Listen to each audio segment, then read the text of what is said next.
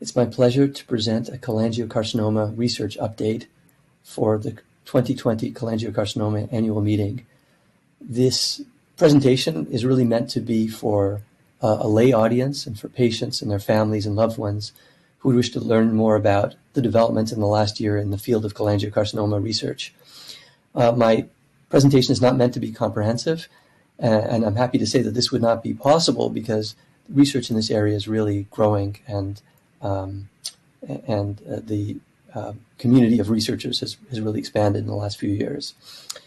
Um, in the current in, in this slide, I've highlighted the genetics of different subtypes of cholangiocarcinoma, and really this is re revealing an important advance in the understanding of biliary tract cancer that's emerged over the last few years, and that is that it's not a single disease, but a group of related diseases. Uh, and um, again, one of the um, primary determinants in the, the, differences in the disease in terms of response to therapies, uh, the way that the tumors uh, grow in the body and use nutrients and evade the immune system is the genetic features. Uh, in addition, uh, the presence of specific mutations such as IDH, FGFR2, and BRAF have led to successful clinical trials or promising clinical trials with therapies that target those mutations. Uh, and so one of the major uh, objectives in the field has been to better understand how those therapies work and how to uh, optimize their, their efficacy. Um, so first I'll turn to research with respect to IDH mutations in cholangiocarcinoma. These are primarily associated with the intrahepatic form of cholangiocarcinoma.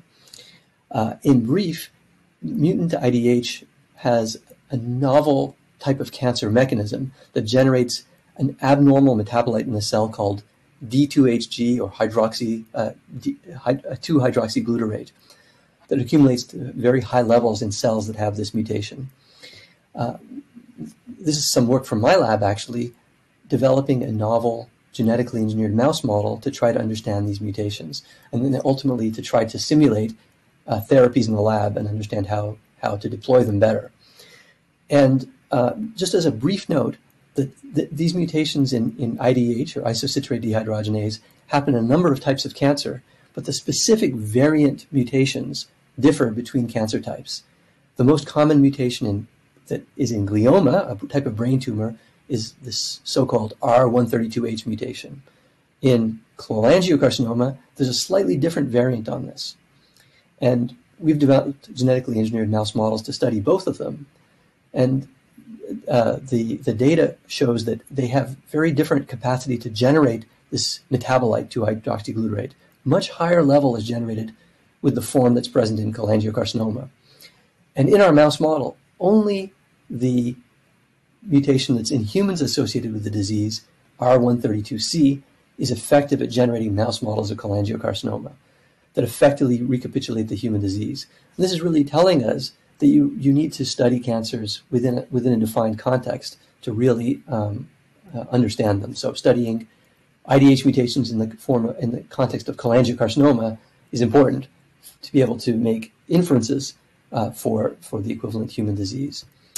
And we've used this model to try to simulate the human clinical trials. Again, in the human clinical trial, IDH mutations have shown some benefit, uh, but not all patients respond, and uh, and progression and, and, resistance eventually occur for most patients.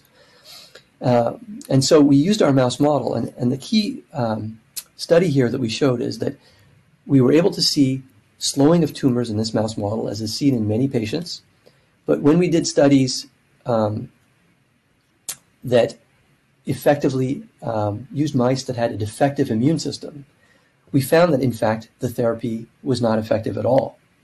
Uh, and this gave us a hypothesis that uh, a major determinant for whether IDH inhibitor or a, ma a, major aspect of the efficacy of IDH inhibition involves some interplay with the immune system.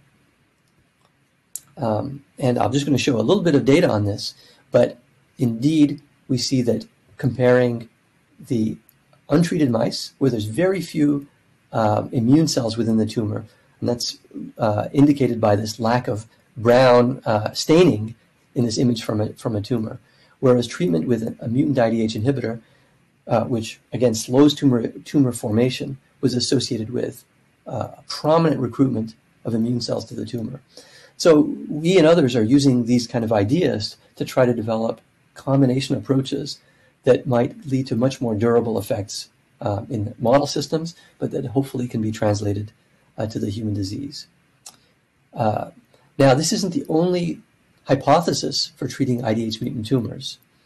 Uh, and I mentioned earlier the metabolite 2-hydroxyglutarate accumulates to very high levels in IDH mutant cells. And several groups uh, are interested in, rather than turning off mutant IDH, rather harnessing abnormalities that happen in the tumor cell when mutant IDH is there. So not using a, mutant IDH inhibitor, but rather understanding the biology of how tumor cells change. And so exciting work from Yale and Sloan Kettering has defined a mechanism by which mutant IDH alters the way that cells are able to repair the DNA. Um, and in fact, creates a state that's somewhat like mutations in the, in the BRCA gene that you might have heard of. The BRCA gene is re- responsible for repairing DNA, and um, patients with mutations in this have a high incidence of certain cancer types.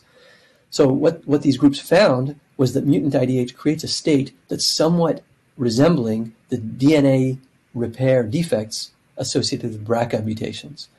And one prediction of that is that uh, there might be a sensitivity to drugs that damage DNA uh, or other therapeutic approaches like radiation therapy uh, and drugs such as PARP inhibitors. So this is just some data from these two groups showing that tumors in, in model systems that have IDH mutations accumulate much more DNA damage, and that can be seen in the middle panel here with the accumulation of this uh, green uh, staining, indicating an accumulation of DNA damage. And both groups showed that in mouse models, treatment with uh, different DNA damaging agents leads to uh, quite effective responses in these in these models. And this is also being taken in, in the clinic. And so we'll see whether uh, you know the benefit of this approach versus IDH inhibition uh, itself. Um, and uh, again, very exciting new developments based on understanding the biology of these tumors. Uh, now I'm going to turn to another uh, so-called actionable mutation that is, or alt- genetic alteration that is fusions and other types of mutations in the fibroblast growth factor receptor. So in brief, the normal function of the fibroblast growth factor receptor shown on the right is to transiently respond to growth signals in a very controlled manner, uh, allow cells to respond to the growth factor in blue in, the, in this panel, which allows the receptor at, at the cell surface to respond to very controlled growth signals. And about 15% of patients with cholangiocarcinoma have an abnormality in their chromosomes in which the normal fibroblast growth factor receptor is fused to another uh, another gene, and that leads to completely um, independent growth signals that do not require these growth the, the, external growth factors. Uh, this on the right is shown data from uh, a clinical trial, the first clinical trial with an FGFR inhibitor, and the panel is showing that tumors frequently shrink when treated with F- fibroblast growth factor receptor inhibitors. Uh, but unfortunately, not all patients benefit, and again, acquired resistance is uh, um, frequently occurs. And so, our group and others have been trying to understand what underlies the resistance to FGFR inhibitors, as well as to develop or predict approaches that would lead to uh, overcoming resistance. Uh, on the top panel, what we, what we have here is uh, analysis of the cell-free DNA. So DNA that's in the blood that's shed from tumors. And in the blue left-hand panel, uh, where it's listed as BGJ, a patient was treated uh, and blood was drawn at successive time points. And when you can see this green bar going up, that was at the time that treatment started to fail. And that was associated with the accumulation of, uh, of a mutant, uh, the detection of a mutant gene within the cell-free DNA. So the, the tumors had acquired a mutation in, in the FGF receptor that was associated with progression upon BGJ treatment. And in the laboratory, we studied this and we found that several mutations that were seen in the blood of patients who progressed under different FGFR inhibitors led to resistance to that FGFR inhibitor in the lab. And that's seen as these long uh, bars on the right, indicating the drug was no longer effective. Fortunately, there's so-called next generation FGF, FGF receptor inhibitors that have been developed, including one called TAS120. And in the laboratory, many of these mutations that are seen upon resistance can be overcome, but not all of them. In patients, you can see that patients who progressed on BGJ398 and then were, were treated with this next generation inhibitor, the ability to, to, to uh, detect that mutation in the blood uh, was lost, so that the mutation went away. And these patients responded to that inhibitor for quite some time. So our, the laboratory research is telling us uh, that these mutations can be overcome by these next generation inhibitors, and gratifyingly, there is at least some can be overcome by TAS120. Uh, but still, there's the problem of some mutations that are still that are still resistant, and uh, we hope that in the future, uh, inhibitors that are able to overcome all the mutations might be developed, or else therapeutic combinations that more durably uh, uh, treat the tumor. Uh, in addition, what we're learning about by the increased amount of genomic analysis of patients' tumors is that there are new drug targets, including new types of alterations in FGF receptor. So work from the Dana-Farber that, that my lab is collaborating with has shown a new type of mutation in which instead of a fusion of the FGF receptor, there are alterations in the area that normally binds to this ligand, so normally binds to the growth factor. And again, only have discovered in the last year and a half, uh, but that lead to, in laboratory experiments, abnormal growth, as shown on the, on the right-hand side. Uh, but very gratifyingly, patients who have had those um, in, so-called indel mutations have benefited significantly from treatment with FGF receptor inhibitors. Um, so I've been talking about so-called actionable targets in biliary tract cancer. So that is uh, mutations that predict response to a certain therapy. And you can see here that among intrahepatic cholangiocarcinomas, that this comprises about half of half of uh, patients have so-called actionable targets. But then again, there's another half of patients who don't have these mutations. In extrahepatic cholangiocarcinoma, the frequency is even higher. And so a lot of research in the field has been trying to discover how to treat these other uh, uh, uh tumors that, that lack these actionable mutations. And one approach that's being taken is to develop more advanced mouse models uh, to study this. Uh, I've just shown one example from a group in, in Holland, led by the, Hans Clevers is the, uh, the leader of these studies, and used normal liver cells and introduced a mutation that's quite common in cholangiocarcinoma, BAP1, which we don't have a good understanding of what BAP1 does to lead to cholangiocarcinoma. What they did was they used a method called CRISPR to uh, introduce these mutations into human liver cells, completely normal liver cells. And then either in, the, in, in tissue culture or by introducing into mice, they examined how these mutations in BAP1 affected growth. And just on the right, what they found was that compared to normal liver cells that have this very nice arrangement, uh, as can be seen with this, with this green staining, they fit together very nicely. Rather, when BAP1 mutant cells uh, uh, were studied, in a very disorganized manner. And so hopefully understanding some of this disorganization of tissue that comes from BAP1, uh, there will be predictions for uh, new therapies uh, that uh, for which there are, are, are none now for patients with that with that mutation. Uh, in addition, uh, again, I, have put this pie chart of the actionable and non-actionable mutations, and a considerable portion of extrahepatic cholangiocarcinoma patients have mutations in KRAS. And until recently, this was considered to be an elusive target. There were no drugs targeting KRAS. But now, um, very exciting in the field, there are many drugs that are entering clinical, clinical trials that target or inactivate aspects of what KRAS does, either directly or um, or some of the what we call downstream pathways.